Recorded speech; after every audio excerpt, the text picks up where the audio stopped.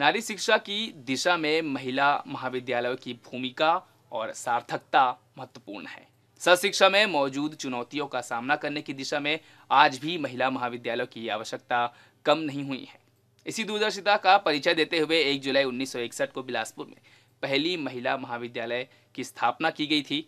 मात्र 12 छात्राओं के साथ आरंभ इस कॉलेज ने न सिर्फ़ लंबा सफ़र तय किया है, बल्कि इसकी झोली में उपलब्धियाँ भी बटोरी गई हैं।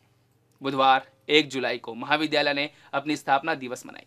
इस मौके पर बतौर मुख्य अतिथि शामिल हुए बिलासपुर विश्वविद्यालय के कुलपति गौरीदत्त शर्मा ने महिला महाविद्यालय के संदर्भ और तरक्की के सोपानों पर रोशनी डालते हुए इस सफ़र की सराहना की।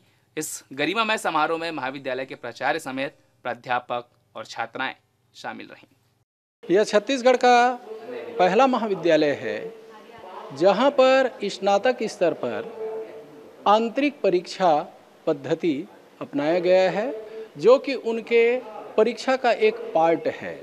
उनके अंकों का अंकन उनके अंक सूची में किया जाता है। इस सत्र से, अर्थात 15-16 से, इस महाविद्यालय में स्नातक स्तर पर सेमेस्टर परीक्षा के साथ साथ चॉइस बेस्ड क्रेडिट सिस्टम एवं ऑनर्स लागू किया जा रहा है।